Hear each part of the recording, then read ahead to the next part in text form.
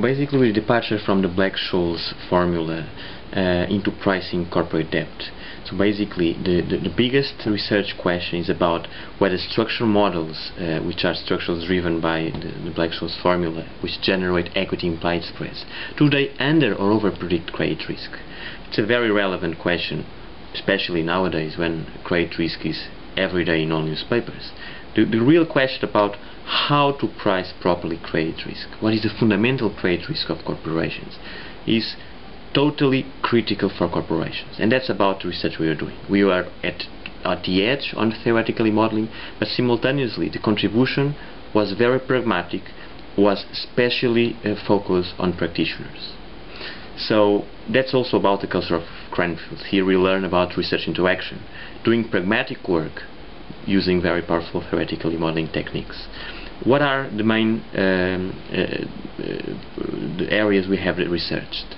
Departing from testing structural models into price discovery, and price discovery tells us in a crisis, in a, in a, in a, in a dark Friday, when the markets just plunge 20%, let's assume the equity market, the credit default swaps have corrections uh, as an increase about 10%, the bond market uh, different corrections. Which market tells us more efficiently about the real, the fundamental increase of credit risk.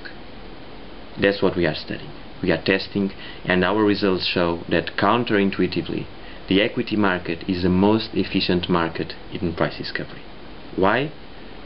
We believe that it's most attributable because of the low transaction costs and because of uh, the, the, high liquidity, which actually beats more sophisticated markets such as the credit default swap market. And then we move on to our third uh, area of research, which is capital structure arbitrage. What is it, capital structure arbitrage? Once again, research into action, using structural models as a powerful engine to price credit spreads. And every time we detect a large discrepancy between the observed credit spread of a certain firm and what our model tells us, we will trade. And we do an algorithm trading strategy and try to assess abnormal returns. Abnormal returns is excess return, uh, risk-adjusted returns.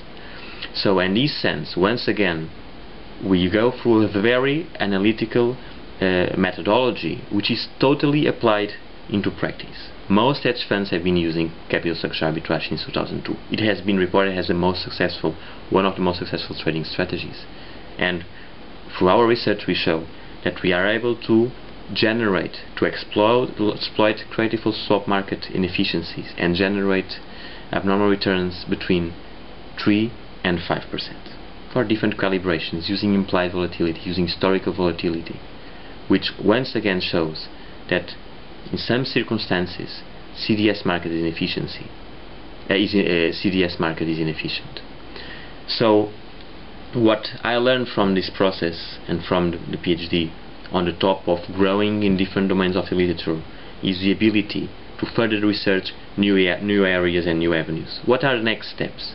our next steps and and in, and here we learn that in academia uh, is about doing work with an impact and doing work with an impact means publishing and that's why we used to say publish or perish doing a proper PhD without having publication in view is like dying when we arrive to a beach in the sense that uh, we have already a revise and resubmit for a very good journal.